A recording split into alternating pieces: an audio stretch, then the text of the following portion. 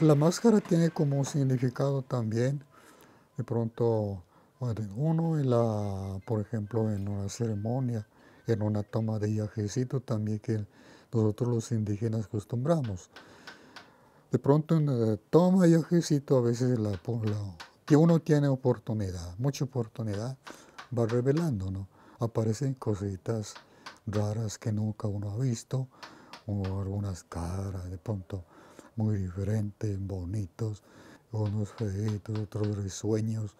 Bueno, cuántas cosas este lo revela uno y uno a uno le queda grabado en la mente eh, según uno elabora y dice, vea, de esta figurita, yo miré en la tomita del ejército, entonces me apareció. Esto es como una reliquia definitiva para uno tener en la mente y luego uno seguir trabajando. Esa es la profesión mía, más mejor dicho.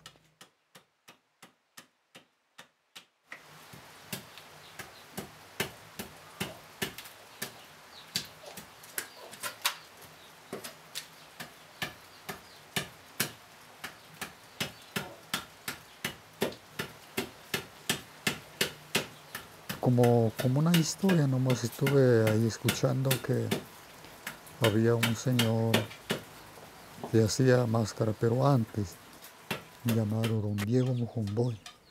El otro tío también llamado Lázaro. Ellos trabajaban, pero pues muy diferente que la de ahora. Me llamaba, me invitaba que iba a aprender, pero pues como aquí mi papá no me dejaba de ir, entonces me decía que si vas usted allá, entonces pues este si allá nomás no vengas más. A mí nadie me ha enseñado, o instructor, no, no me ha servido nadie. Esto fue la técnica mía. Agradezco a mi Dios por la sabiduría ¿no? que me regaló. Yo creo que este es como un regalo de Él.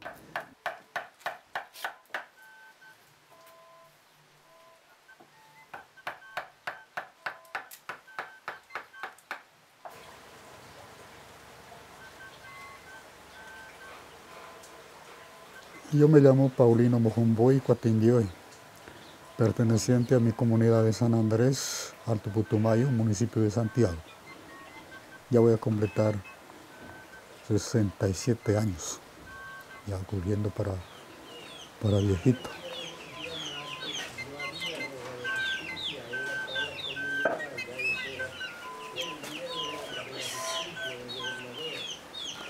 Mi nombre es Luis Alfredo Chindoy Buesaquillo. Soy de aquí de la comunidad Camsá de aquí de y Putumayo. Tengo 34 años. Del tema de la historia de las máscaras, casi que de la última persona que se supo o se conoció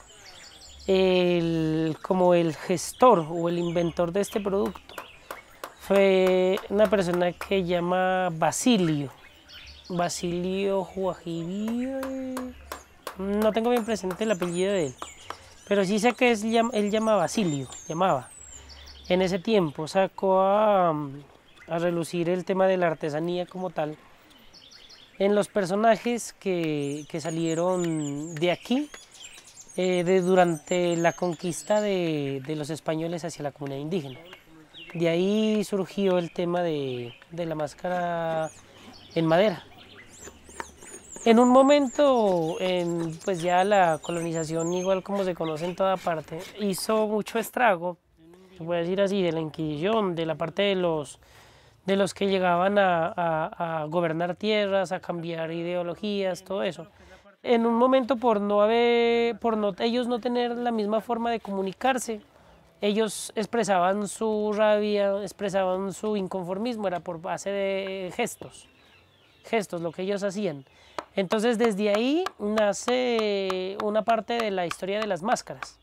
Por ejemplo, hay una máscara que llama el San Juan Hombre, San Juan.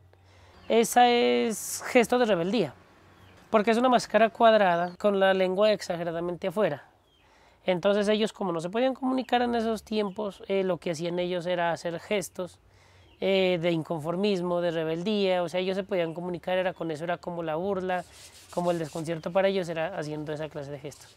Y de ahí creo que nació el tema de, de, hacer el producto en madera como tal.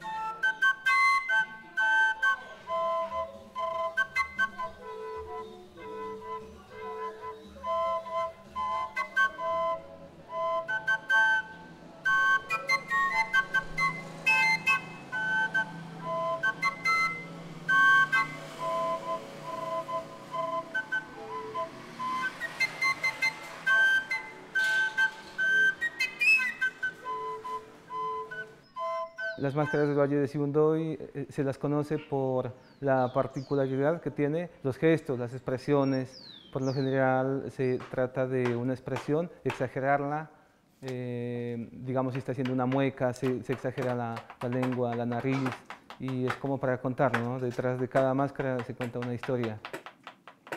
Eh, nuestros abuelos empezaron a hacerla como para comunicarse con las personas y expresar eh, sus sentimientos, mm, su forma de actuar. No estaba enfocado tanto para el comercio, fue como para comunicarse. En todo este tiempo que llevamos eh, en este trabajo de tallar máscaras, esculturas también, ¿no? O sea, es como, el fuerte nuestro es como la escultura en madera, eh, tratar de contar el legado ancestral, el verdadero arte de nuestros ancestros, el conocimiento que tienen las abuelitas, los taitas, los niños eh, y la interacción del hombre con la naturaleza. Eso es lo que más me gusta, poderlo contar en una escultura en madera.